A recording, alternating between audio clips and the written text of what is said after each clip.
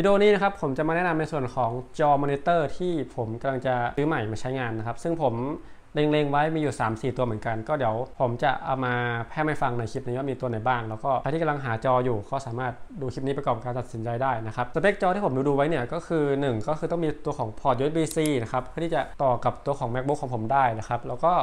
ราคาต้องไม่เกิน 10,000 บาทนะครับแล้วก็จอที่ ผมดูก็คือเป็นขนาด 27 นิ้ว 4K นะครับ แล้วก็มีตัวของ 24 นิ้วด้วย แต่ว่า 24 นิ้วเนี่ยจะไม่มี 4K นะ จะเป็นแค่ 2K นะครับ ก็มีรุ่นไหนบ้าง แล้วสเปคจอแต่ละรุ่นเนี่ยเป็นยังไงนะครับ ก็เดี๋ยวไปดูกันในคลิปวิดีโอนี้ครับ ตัวแรกเนี่ยที่ผมสนใจมาก ๆ เลยก็คือเป็นตัวของ MSI Modern นะครับ รหัสก็คือเป็น MD271UL นะครับ ตัวนี้เป็น จอ 4K ขนาด 27 นิ้วนะครับ panel เนี่ยก็เป็น IPS นะ ที่ผมสนใจเพราะว่า 1 ก็คือเขามีตัวของ sRGB เนี่ย อยู่ที่ 139%นะครับ แล้วก็มีในส่วนของ DCI-P3 เนี่ย 99%เลยนะครับ แต่ข้อเสียที่ผมลังเลเพราะว่า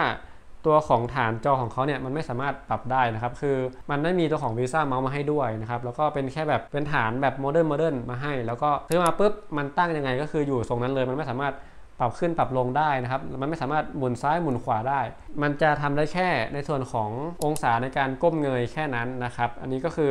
เป็นข้อพิจารณาอย่างหนึ่งที่ผมช่างใจอยู่เหมือนกันนะครับ แต่ว่าสเปคจอของเขาเนี่ยคือมันดีมากๆนะ แล้วก็ราคาเนี่ยมันอยู่แค่ 9,900 บาทเอง บางที่ก็ขายอยู่ประมาณ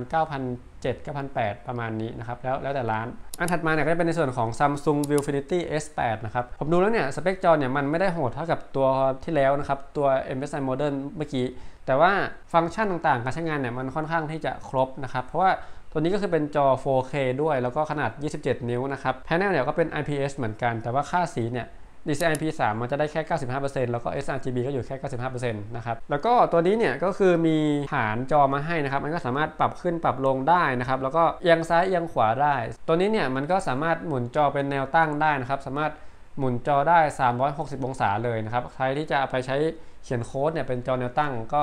ถือว่าตอบโจทย์นะ ราคานะครับก็อยู่ที่ 9,700 บาทประมาณนี้นะครับ 9,700 9,800 พอๆกันกับตัวที่แล้วเลย ตัวที่3นะครับก็จะเป็นจอขนาด 24 นิ้วนะครับสเปคจริงๆก็คือเป็น 23.8 นะแล้วความละเอียดเนี่ยเป็น 2K เลยนะครับรุ่นก็คือเป็น Dell P2423DE นะครับตัวนี้เนี่ยผมถือว่ามันราคาไม่ถึงหมื่น แล้วก็เป็นจอ 24 นิ้วที่ให้ความละเอียดมาค่อนข้างเยอะถึง 2K เลย ซึ่งปกติแล้วเนี่ยจอ 24 นิ้วเนี่ยมันจะได้แค่ Full HD นะครับซึ่งผมมองว่าการทำงานเนี่ยบางครั้งอะ มันเป็น Full HD เนี่ยบางทีเราเห็นเป็นเม็ดพิกเซลในหน้าจอเนี่ยมันอาจจะทำให้เรารู้สึกว่าภาพมันไม่ค่อยชัดนะครับ อันนี้ก็เลยให้มาเป็นแบบ 2K นะ แล้วก็เป็นขนาด 24 นิ้ว ราคาก็อยู่ที่ประมาณ 9,900 บาทนะครับ ก็ถือว่าเป็นสเปคจอที่น่าสนใจนะครับ 3 ตัวที่ผ่านมาคือผมเล็งๆ 3 ตัวนี้ไว้นะครับ แล้วก็มีตัวที่ผมเคยเจอก่อนหน้านี้ แล้วผมรู้สึกว่ามันไม่ค่อยตอบโจทย์เท่าไหร่ เพราะว่า 1 สเปคมันดีก็จริง แต่ว่ามันไม่มีตัวของ ช่อง USB-C ให้นะครับ แต่ว่าผมจะมาใส่ในคลิปนี้ให้แล้วกันนะครับ ตัวถัดไปก็คือเป็นในส่วนของ LG 27 UP 600 W นะครับ ตัวนี้เนี่ยก็คือราคามันอยู่ที่ 9,800 บาท แต่ว่ามันไม่มีตัวของ USB-C นะ มันจะเป็นแค่ HDMI แล้วก็เป็น Display Port มาให้นะครับ ซึ่งถ้าเกิดว่าใครใช้ Mac หรือว่าใช้อะไรเงี้ย คุณต้องใช้ตัวของ C2 HDMI หรือว่า C2 DisplayPort เนี่ยแปลงไปอีกทีนึงนะครับ ตัวนี้ได้ความละเอียดมาที่ 4K เหมือนกันนะครับ 60 Hz นะ แล้วก็ขนาดก็คือเป็นอยู่ที่ 27 นิ้ว เป็น panel IPS เหมือนกันนะครับ ส่วนค่าสีเนี่ยก็คือเป็น 95% DCI P3 นะครับ นี่คือค่าขอบเขตสีนะ ส่วนตัวฐานจอเนี่ยมันก็ตั้งเป็นแนวนอนได้อย่างเดียวนะ มันไม่สามารถหมุนแบบ 360 องศาได้นะครับ ถ้าเกิดว่าขยักให้มันแบบหมุนได้แบบนั้นก็คือคุณต้องใช้เป็นแขนจับวีซ่าเมาส์นะ ตัวถัดไปก็คือจะเป็นตัวของ i p a s a n นะครับ e 2 7 2 8 u ขีด z นะครับ ตัวนี้เป็นจอ IPS เหมือนกัน แล้วก็รู้สึกว่าจะเป็นของแบรนด์จีนด้วยนะ ราคาถูกมากนะครับ อยู่ประมาณ 7,000 แค่นั้นเอง แล้วก็หน้าจอเนี่ย ก็คือสามารถหมุนแบบ 360 องศาได้นะครับ แล้วก็ในส่วนของความละเอียดเนี่ยก็เป็น 4K เหมือนกันนะครับ แต่ขอบเขตสีเนี่ยมันก็คือจะได้ DCI P3 อยู่ที่ 95%นะ อันนี้เนี่ยก็คือเป็นทั้งหมดที่ผมไปรวบรวมมานะครับ ที่ผมแบบไปดีเซิร์ชมาว่ามีรุ่นไหนบ้างนะครับ อันนี้ก็คือเป็นราคาแบบไม่ถึงหมื่นแล้วก็ได้ในส่วนของ